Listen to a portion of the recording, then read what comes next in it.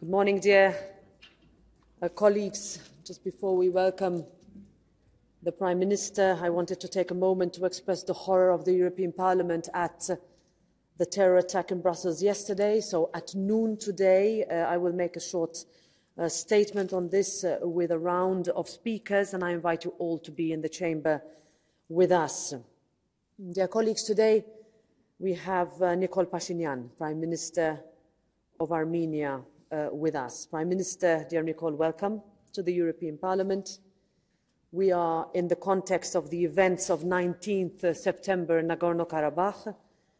In our last plenary, we voted on a resolution that deplored the attack on Nagorno-Karabakh and called for the respect of Armenians' rights and security. And our focus now must be on honest and fair talks uh, to resume. Prime Minister, since then, your country, your people have welcomed, housed and fed over 100,000 refugees. It is a testament to your country's commitment. Europe will continue to support Armenia's efforts in dealing with the influx of people from Nagorno-Karabakh. Many member states have also donated much-needed shelter equipment, food and medical supplies to the EU civil protection mechanism. Prime Minister, let me also assure you of our support to your country's democratic reforms, the strengthening of our bilateral relations and stronger cooperation with the European Union, active participation of the international community, as well as international assurances for Armenians who continue to live in Nagorno-Karabakh can help achieve peace and reconciliation. We remain committed to all efforts directed towards the normalization of relations between Armenia and Azerbaijan based on mutual recognition of sovereignty, inviolability of borders and territorial integrity.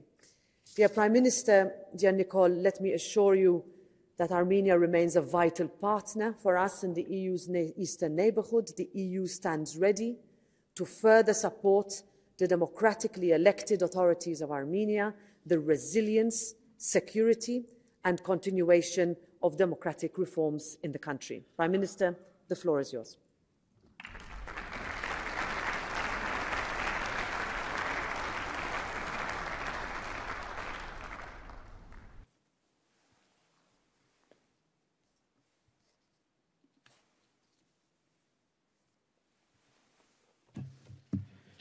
Thank you very much. I will speak.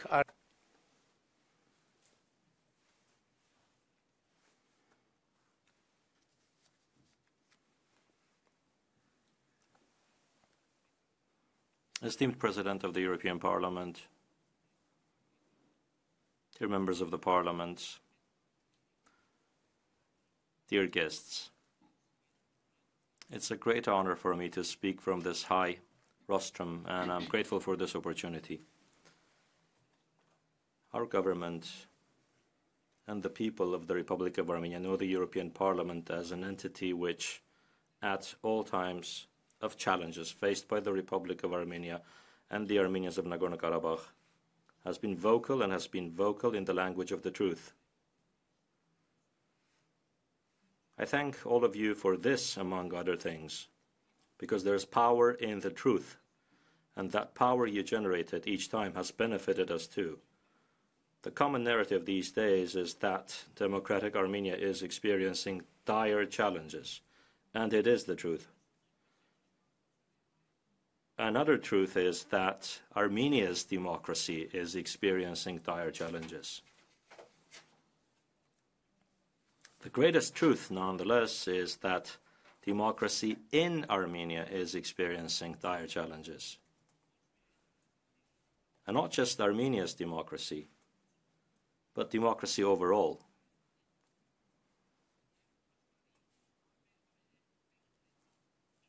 Because various events unfolding in Armenia and around the world are raising the following question Is democracy capable of providing peace, security, solidarity, prosperity, and happiness. But I have not come here to ask questions. I have come here to answer, and my answer is Yes, unequivocally. Many say that Armenia today is suffering because of democracy. But I must underline my belief. With the largely inevitable challenges faced by Armenia in recent years, the Republic of Armenia would have simply become paralyzed, lost her independence and sovereignty had it not been democratic. This is evidenced by the events of 2020 and 21. After signing the trilateral ceasefire statement at the end of the 44 day war, when Armenia's state institutions were targeted by attacks of extremist groups, when the public was divided and inflamed, democratically formed institutions stood strong in their positions of defending statehood whilst not breaching any principles of democracy. The freedom of expression and the freedom of assembly were not restricted in Armenia in that difficult situation. There were no cases of disproportionate use of force, and the rule of law was not undermined.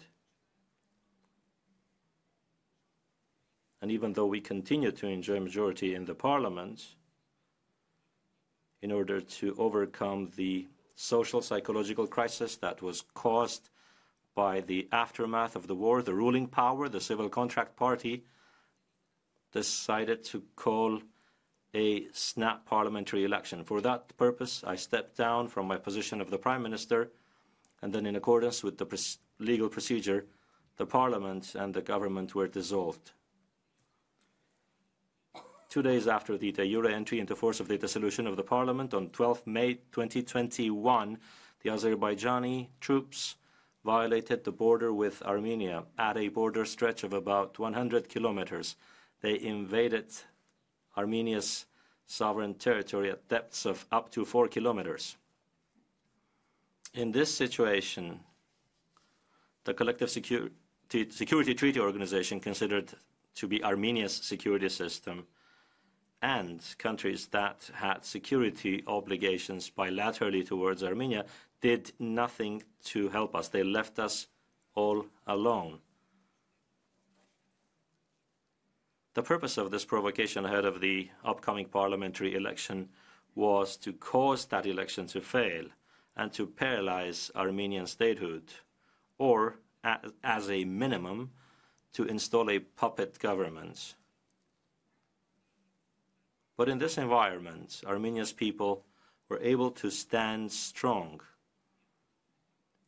for defending Armenia's independence, sovereignty, and democracy. And we held a parliamentary election that was internationally recognized as free, democratic, transparent, and competitive.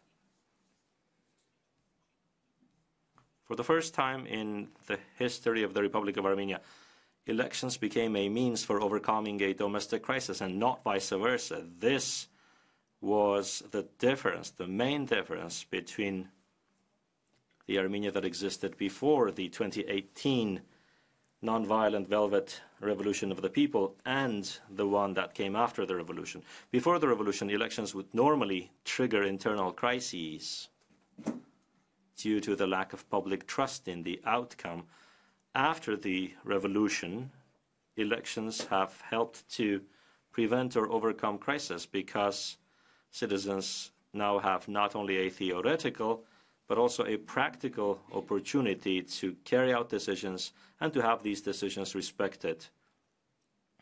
After the 2018 nonviolent velvet revolution of the people, no election in Armenia at any level or any election results have not been rigged.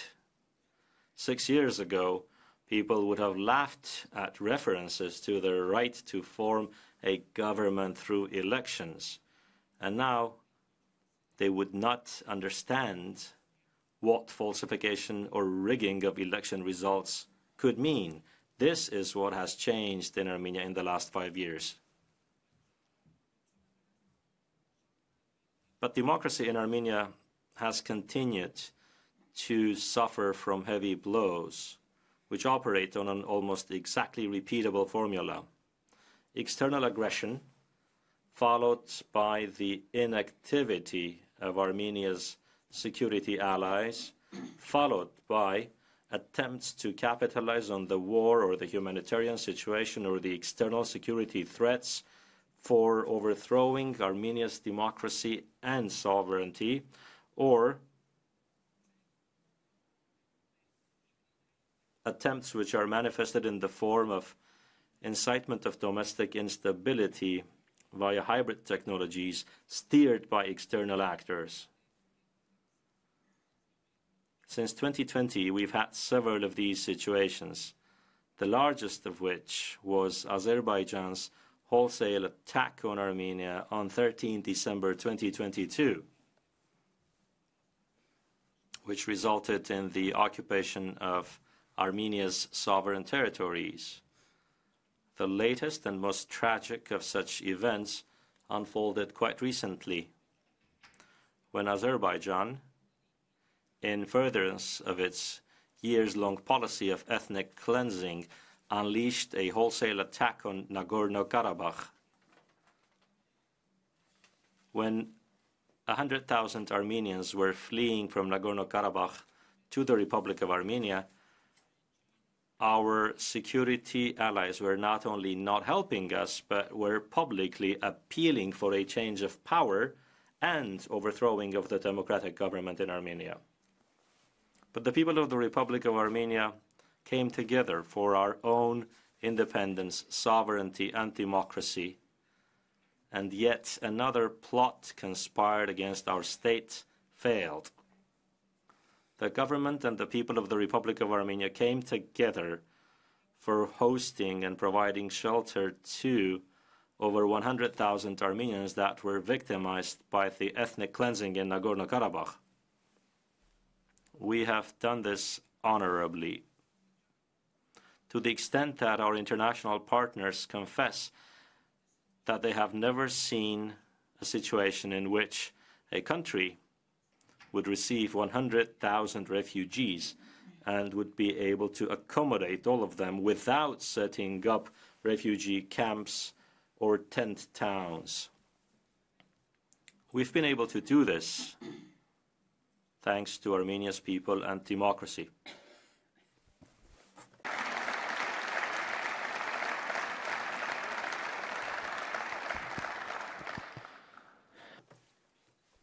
We were able to do this thanks to Armenia's people and democracy. The people, because at times they would not even wait for the government to do anything. They would provide essential supplies to the forcibly displaced, and they would even provide temporary shelter. Many of them received these people in their homes thanks to democracy, because after the 2018 revolution, all obstacles to doing business freely and all artificial monopolies have been eliminated in Armenia. Government transparency and accountability have improved. There's, there has been an uncompromising, principled, and institutional effort against corruption. The rule of law has been achieved, and with all of this, in spite of the tragedies and the threats, Armenia continues to enjoy strong economic growth. Since 2018, my country's fiscal revenues have grown by about 70%. With decisions that have already been taken, we will be allocating around $100 million in support to those displaced from Nagorno Karabakh and we do need international support, including in the form of budget support. Needless to say, we have created a mechanism for supporting the forcibly displaced. Under this mechanism, the resources allocated to them are transferred in non-cash form. Thus, the distribution of resources is transparent, verifiable, and traceable, and the system will continue to operate in this manner and we're grateful to our international partners, to the EU, and to the member states for having already made allocations or having continued to make allocations for coping with the humanitarian crisis caused by the forced displacement of the Armenians from Nagorno-Karabakh. Esteemed President of the European Parliament, honorable members of the Parliament, dear guests, it is unfortunate, extremely unfortunate, that in spite of hundreds of reports, the orders of the International Court of Justice, resolutions of the European Parliament, resolutions of the Parliamentary Assembly of the Council of Europe, and resolutions of national parliaments, as well as the appeals of the executive government, we, the international community, have been unable to prevent the ethnic cleansing of Armenians from Nagorno Karabakh. The Armenian government and the European Parliament have many times alerted to the threat of ethnic cleansing in Nagorno Karabakh. The Armenian government repeatedly invited the UN, the OSCE, and the EU to send a fact finding mission to the blockaded Lachin corridor or to Nagorno Karabakh. However, none of them adopted such decisions.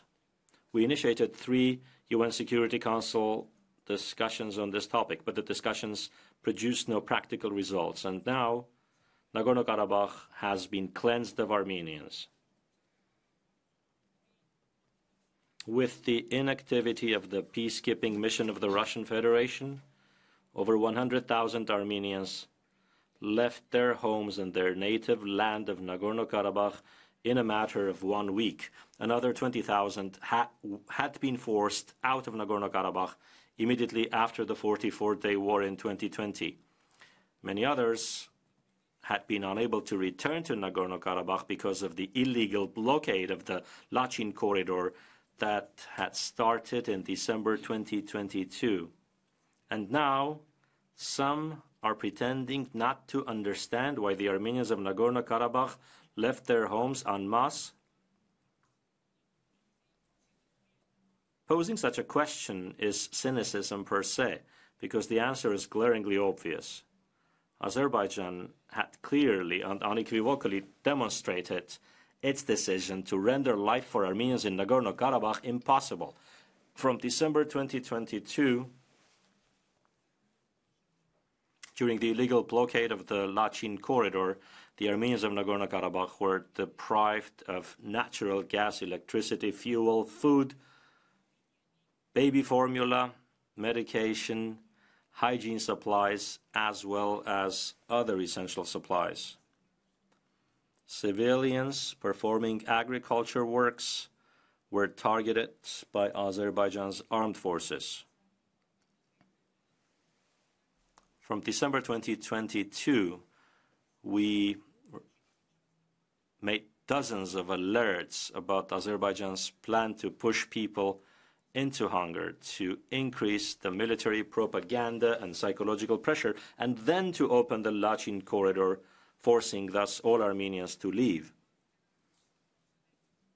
We described this scenario in January, February, March, April, May, June, July, August of 2023. We described it loudly and publicly, and I do not understand the surprised faces of certain international officials about the cleansing of Nagorno Karabakh of Armenians in September. Yet I would like to thank the European Parliament for calling what happened in Nagorno Karabakh by its name. This is important for the future protection of the rights of people deprived of their homeland. Esteemed President, Honorable members of the Parliament, dear attendees. In spite of all the wars and difficulties and crises, I have come to the European Parliament with the following key message. Our region, the South Caucasus, is in need of peace, in need of a condition where all the countries of the region live with open borders tied by active economic, political, and cultural bonds with experience and tradition of resolving all differences by diplomatic means and by dialogue.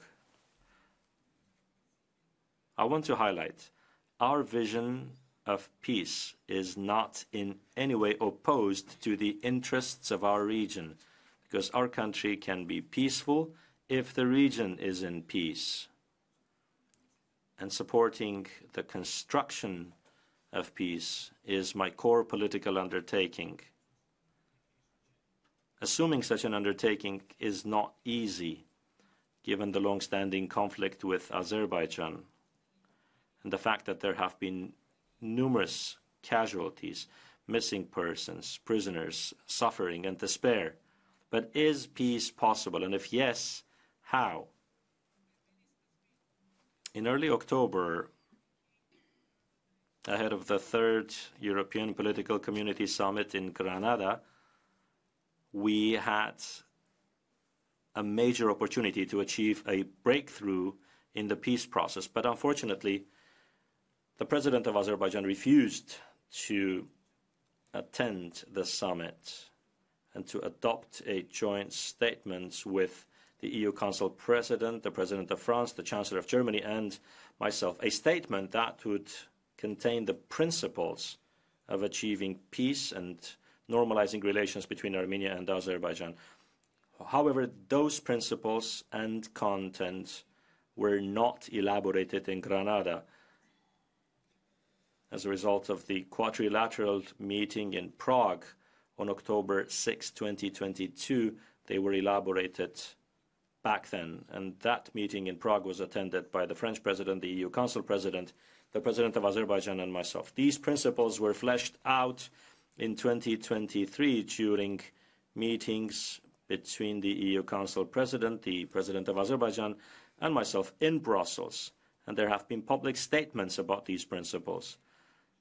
The first one, the first principle is contained in the Granada Quadrilateral Statement in the following way, quote, they, meaning the French President, the EU Council President, the German Chancellor, and myself, remain committed to all efforts directed towards the normalization of relations between Armenia and Azerbaijan. Based on mutual recognition of sovereignty, inviolability of borders, and territorial integrity of Armenia, 29,800 square kilometers, and of Azerbaijan, 86,600 square kilometers. As mentioned in President Michel's statements of 14 May and 15 July 2023. They called for the strict adherence to the principle of non-use of force and threat of use of force, end of quote.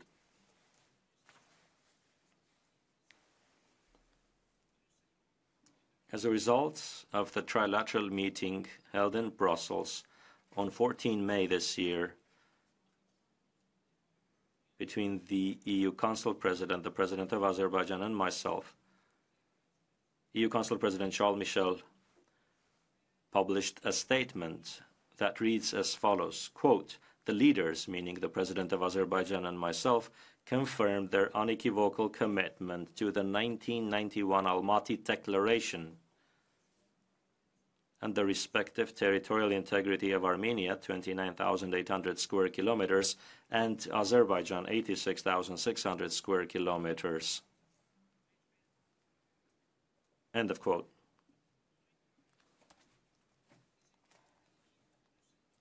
As a result of the July 15 meeting in Brussels between the EU Council President, the President of Azerbaijan, and myself, another statement was published by Council President Michel, which reads as follows.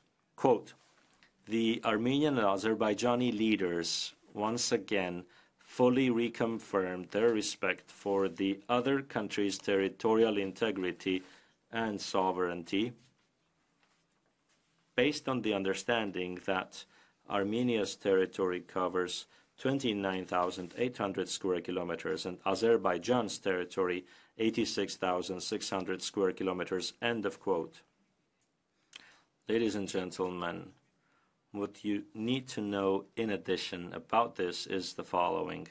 After these understandings, I made several public statements reconfirming that the Republic of Armenia recognizes Azerbaijan's 86,600 square kilometer territorial integrity, but the Azerbaijan president has not reciprocated. He recently stated that he recognizes Armenia's territorial integrity, but he did not specify the 29,800, which has caused some analysts concern that he is intentionally leaving ambiguities for making territorial claims on Armenia. The understanding to recognize territorial integrity with specific numbers was achieved for that very purpose, so that neither Armenia nor Azerbaijan would afford any ambiguity in recognizing each other's territorial integrity by saying, for instance, that a part of the, uh, of, of the country's territory does not really belong to that country. The next principle of normalizing relations between Armenia and Azerbaijan is contained in the Granada Statement in the following manner quote, They stressed the urgent need to work towards border delimitation based on the most recent USSR General Staff maps that have been provided to the sides, which should also be a basis for distancing of forces and for finalizing the peace treaty and addressing all humanitarian issues. End of quote. As a result of the July 15 meeting held in Brussels with the EU Council President, the President of Azerbaijan, and myself, Council President Charles Michel made the following statement quote,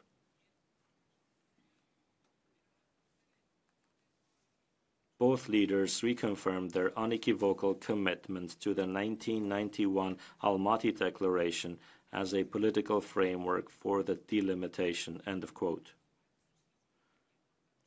as a result of the 2022 October 6 quadrilateral meeting in Prague, the same principle was defined as follows quote, Armenia and Azerbaijan confirmed their commitment to the Charter of the UN and to the 1991 Almaty Declaration, through which both recognize each other's territorial integrity and sovereignty they confirmed it would be a basis for the work of the border delimitation commissions. End of quote. What you need to know additionally about this principle is the following. The Almaty Declaration was signed by the 12 republics of the Soviet Union on December 21, 1991 in this context, there were two important clauses in that declaration. Firstly, the Soviet Union shall cease to exist. And secondly, the republics shall recognize each other's territorial integrity and sovereignty, the inviolability of the existing administrative borders, and therefore the administrative borders between the ex Soviet republics would turn into state borders. Azerbaijan has claimed that there is no border between Armenia and Azerbaijan, but this contradicts the Almaty Declaration and the aforementioned understandings. Azerbaijan also maintains ambiguity in accepting the most recent Soviet Union maps as a basis for delimitation. Some experts have assumed, based on this, that Azerbaijan is creating a foundation for territorial claims and a new military aggression against Armenia. Ladies and gentlemen, the next principle for normalizing relations between Armenia and Azerbaijan and for peace is contained in the Granada Statement as follows quote, They called for the opening of regional connectivity links based on full respect of the country's sovereignty and jurisdiction, as well as on the principles of equality and reciprocity. End of quote.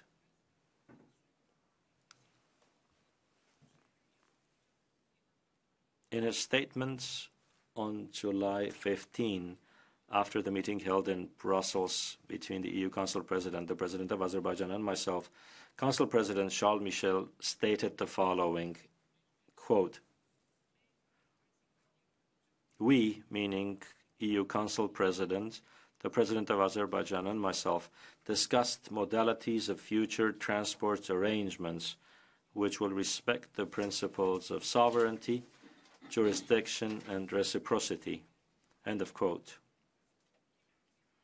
What you should know about this principle, in addition, is the following Azerbaijan has continued to claim that Armenia must provide a corridor to Azerbaijan via Armenia's own territory. In common international talk, we understand a corridor as a simple interstate road, but in our region, there's a specificity. In the 2020 November 9 trilateral statement, the word corridor is used only in reference to the Lachin corridor, which was supposed to ensure a link between Nagorno Karabakh and Armenia. The specificity is that under the 2020 November 9 statement, Lachin corridor would not just be a road, it would be a five kilometer wide territorial layer that would lie outside of Azerbaijan's control and would be under the control of the peacekeepers. So, in this context, the word corridor has that connotation of an extraterritorial layer. Armenia has never, under any circumstances, agreed to or promised to accept any restriction of its sovereignty or jurisdiction. Armenia has not made such a promise. So, what does the aforementioned principle mean? It simply means that Armenia and Azerbaijan agreed on the basis of their sovereignty and jurisdiction and without any reference to corridors to open each other's roads for the other, to open their roads for each other. At the checkpoints of these roads, there would be border control and other control services under the jurisdiction of the respective countries and based on their sovereignty and legislation.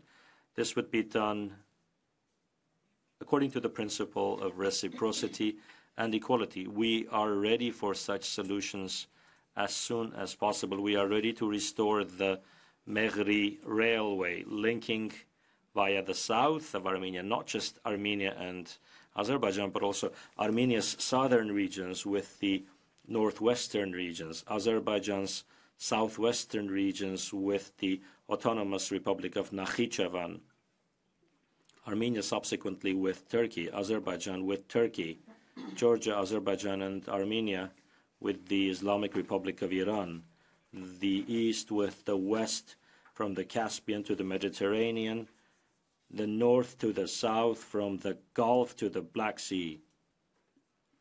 In Armenia, we call this project the Armenian Crossroads. But I think the time has come for further regionalizing and rebranding this project.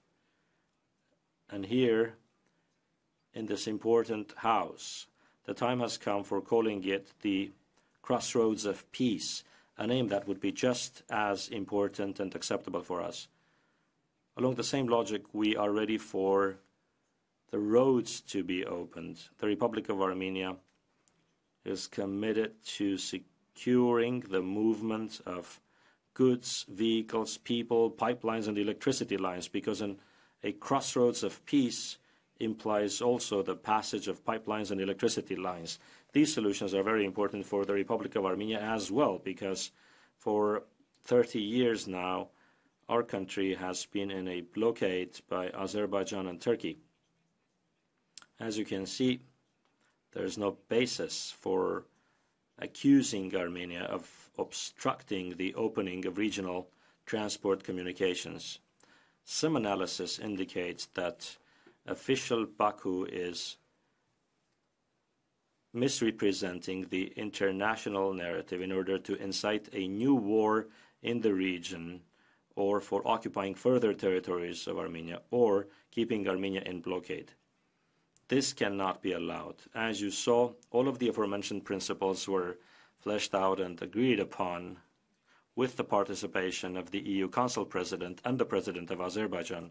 We are ready to implement these understandings. As far as transport communications are concerned, in accordance with the aforementioned principle, including the principle of reciprocity, we are ready to simplify the procedures. We're ready to ensure the safe passage of Azerbaijanis and Azerbaijani goods via our territory, hoping for reciprocity. We're ready for the mirrored withdrawal of the troops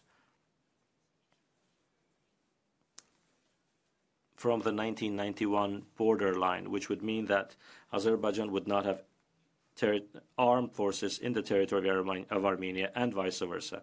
We're also ready, on the basis of reciprocity, to address the question of the so called enclaves, as declared in my interview with Armenia's public television on October 10. And finally, we're ready by the end of this year to sign an agreement on peace and normalization of relations with Azerbaijan. Clearly, the fact that Azerbaijan refused to take part in the Granada meeting, which had actually been agreed upon in Brussels on July 15, and that agreement too was contained in uh, President Michel's statements made after the meeting. Now, that failure to come to the meeting did not make the process any easier. But in the course of this year, as the President of the Parliament has said, we've agreed that we will have a meeting in Brussels during this month. And if the aforementioned principles are officially reconfirmed, then the signing of a peace and normalization agreement between Armenia and Azerbaijan will become highly realistic by the end of this year. We are also ready to have an all for all exchange of prisoners of war, detainees, and arrested persons. We're ready to closely cooperate for determining the fate of the missing persons. At the moment, 1,016 citizens of Armenia are considered to be missing. We stand ready to cooperate for demining. I wish to emphasize that back in 2021, Armenia received from Nagorno Karabakh and passed to Azerbaijan the, all of the maps of minefields that were available to the Armenian side. We did so without preconditions as an expression of goodwill, but unfortunately, Azerbaijan did not perceive it as a step aimed at peace, but rather as a trigger for escalating its aggressive rhetoric against Armenia. In spite of this, we must resolutely move towards peace. Doing so requires political will. I and the government and the parliamentary majority of Armenia have this political will. On the other hand, the international community and the European Union and countries of our region need to support us to the best of their ability to use this opportunity to make it realistic for us, Armenia and Azerbaijan. This is where I seek your continued support and attention, especially for the realization of the principles that I discussed. As I said already, these principles were agreed upon with the participation of Council President Charles Michel and the President of Azerbaijan. Esteemed President, honorable members of the Parliament, dear attendees, turning to the EU Armenia relationship. In recent years, the EU has been a key partner supporting the fundamental reforms of the Armenian government. The Armenia EU Comprehensive and Enhanced Partnership Agreement is crucial. It is one of the pillars of our reform agenda, which is now in the phase of active implementation. From February, Armenia has had a long-term civilian mission of the European Union, which monitors the security situation alongside Armenia's state border with Azerbaijan. This is an important milestone. For the first time, the European Union has become engaged in Armenia's security agenda. The foundation for this was laid during the quadrilateral meeting in Prague on October 6, 2022. As for reforms to strengthen democracy, we receive EU support in our police reform. This month, in a matter of just a few days, two weeks in fact, we will finalize the formation of an all-new patrol police in Armenia. We expect to continue cooperating for the reforms of the police, the rescue service, the judiciary, for having an independent judiciary, education and public administration. Our agenda with the EU is indeed very extensive.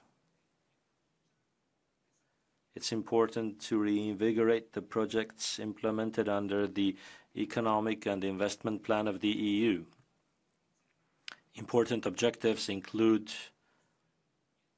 sustainable economic development, modernization of infrastructure, digitalization and technological development, and strengthening the resilience of Armenia's southern regions. The latter is important not only for the country's development, but also for building durable peace in the region. Projects worth more than 400 million euros have already launched under this program. About 270 million euros are for facilitating SME access to finance. About 34 million euros are for technological development. Another 43 million euros are for strengthening the resilience of the Syunik region, and about 62 million euros for the green development of the city of Yerevan. And this is not all. On October 5, in Granada, two very important documents for the EU-Armenia relationship were adopted. One is the quadrilateral statement between President Michel, President Macron, Chancellor Scholz, and myself, and the other one is the bilateral statement between President von der Leyen and myself. Both statements express support to strengthening the EU-Armenia relationship on all levels in view of the needs of the Republic of Armenia. We have undertaken to further strengthen the EU-Armenia relationship in the long run, the European Union and Armenia are committed to strengthening economic ties by unleashing the full potential of the Armenia-EU Comprehensive and Enhanced Partnership Agreement. Based on all of this, ladies and gentlemen, I can announce clearly and with confidence, Armenia is ready to be closer to the European Union as far as the European Union would consider possible. Our joint statements with President von der Leyen reads, In these difficult times, the EU and Armenia stand shoulder to shoulder. Let us continue to stand shoulder to shoulder with a commitment to make these times better. As I said, I am convinced that democracy can provide peace, security, solidarity, prosperity, and happiness. Let us prove this together. Long live democracy. Thank you.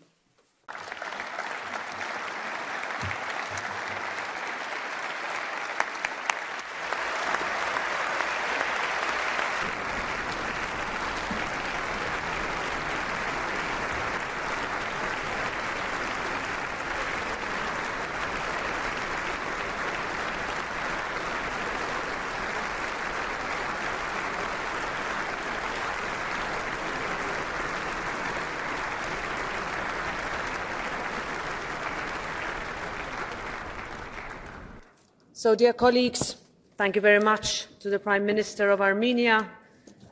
Uh, yesterday evening, a terrorist attack happened in the heart of Brussels, resulting in the murder of two Swedish nationals. And on behalf of the European Parliament, I express my deepest condolences to the victims' families. Terror and extremism cannot infiltrate our societies. We have the right